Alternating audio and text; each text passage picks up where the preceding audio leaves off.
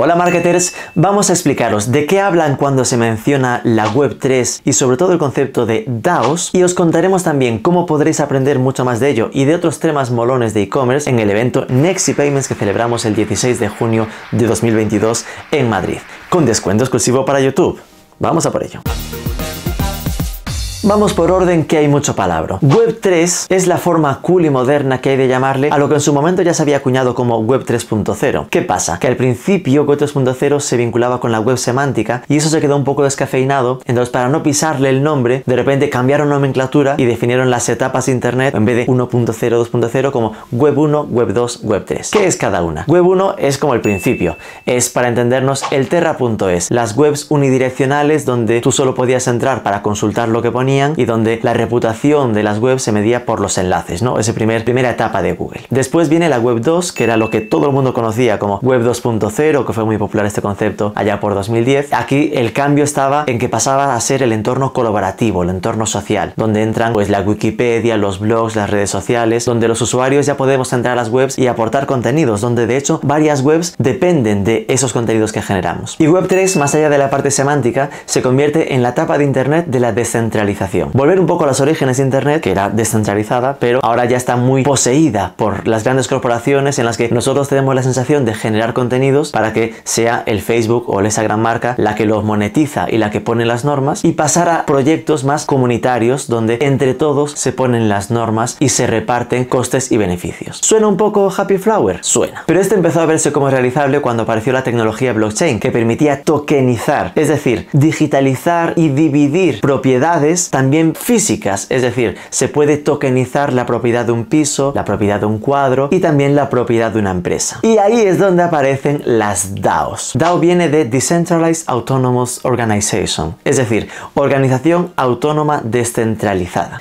Es, para entendernos, una empresa sin una jerarquía, sin una estructura jerárquica, donde haya unos gestores que decidan por todos los socios. Es una estructura con unas normas prefijadas, pero donde todas las decisiones del día a día se toman entre todos los que poseen tokens, acciones de esa empresa. Sí, dicho así, puede que suene como el accionista que tiene acciones de una empresa en bolsa, o sobre todo como una cooperativa de toda la vida. Pero no es exactamente igual, porque el poder de alguien que tiene una acción de una empresa en bolsa, si tengo una acción de Tesla, oye, a Elon Musk no le afecta demasiado. En una cooperativa, ok, se podría parecer, en este caso pesa mucho más lo que es la digitalización del funcionamiento. En las DAOs tienen que existir unas normas prefijadas, una especie de normas preprogramadas que marcan el sentido de existencia del proyecto, es decir, el, el por qué y para qué se crea, y que marcan desde ahí todo el cómo se van a tomar las decisiones para que entonces no necesites pues a ese gerente, por entendernos, ¿vale? Se marca todo el funcionamiento basado en blockchain para que entonces todas las votaciones y toda la ejecución de propuestas y decisiones sea trazable y transparente. Es decir, que no haya opciones de manipulación o robos, por decirlo así. Es decir, que no haya opciones de manipulación y que todo sea más democrático. En definitiva, en una DAO el poder del inversor del que posee tokens de la empresa es mucho mayor porque cualquiera con un token puede hacer propuestas para proponer cómo debería ser los siguientes pasos, la, forma de funcionamiento incluso de la empresa y eso siempre se va a votar. Otra cosa que ganes y tendrás que convencer al mundo, ¿no? Pero tienes mucho más poder que siendo un accionista de un una empresa en bolsa, por ejemplo. Esto supone muchos retos, no es difícil a día de hoy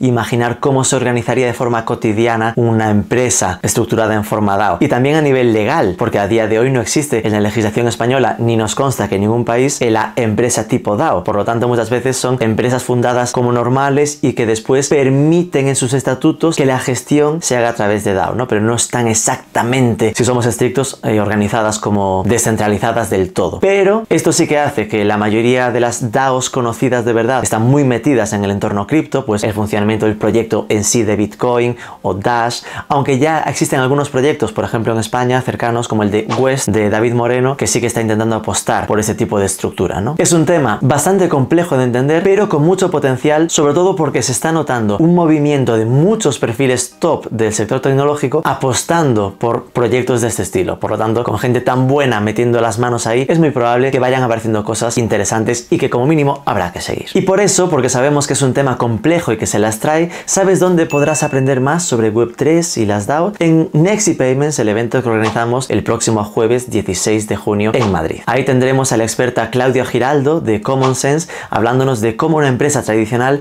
podría moverse, transitar hacia este entorno Web3 y DAO. Pero el evento será toda la mañana, habrá más temas potentes como el cómo están y serán los pagos biométricos, ¿no? En ese entorno que se habla de un futuro sin contraseñas. De esto nos hablará Eduardo Azanza, que es un experto de la empresa de pagos biométricos Veridas. También tendremos una mesa redonda donde hablaremos sobre cómo son las costumbres de consumo de la generación Z, donde tendremos a Rafa Magaña de la consultora generacional especializada en Gen Z eh, a Lorena De Bizum y a Javier Casas de la solución de pagos checkout.com. Analizaremos cómo afecta a los e-commerce cuando dan el salto a convertirse en marketplace a nivel negocio, a nivel pagos. Ahí estarán Alberto López de Adyen, Ismael Labrador de Tuvalum y Julián Valerdi de House. También charlaremos sobre las innovaciones que están apareciendo en el dinámico entorno de la financiación para e-commerce, tanto hacia consumidor final con Joaquín Ferrer de Secura para financiar a los propios proyectos. Aquí tendremos a Ray Burguera de Ritmo y a Fernando Pedraz de la startup Reveni. Y acabaremos con un case study muy potente. Gonzalo Carballo de Worten nos va a contar cómo está siendo su paso como a la inversa de lo habitual, de omnicanal a Pure Player Digital después de la venta que han tenido de sus tiendas físicas. Todo esto agradeciendo por supuesto el apoyo de Checkout.com y Secura como Gold Sponsors, de Alguien y Banco Sabadell Consumer como Silver y de Aplázame, Bizum y Fotografía e-commerce como Sponsors Bronce. Te dejamos el enlace a las entradas en la descripción y además con el código NEXTYOUTUBE eh, podrás acceder con el 50% de descuento. Esto es 25 euros de nada para toda una mañana de sobre inspiración. Y nada más, si hemos conseguido que te haya quedado un poquito más claro lo de qué es la Web3 y qué son las DAOs, oye, déjanos un comentario por lo menos, que no ha sido un reto fácil definirlo. Sobre todo déjanos un like y suscríbete al canal con campanita para ver los próximos vídeos y nos vemos la próxima semana. Dale al like o comparte y suscríbete al canal. Queremos que recibas todos nuestros vídeos en portada.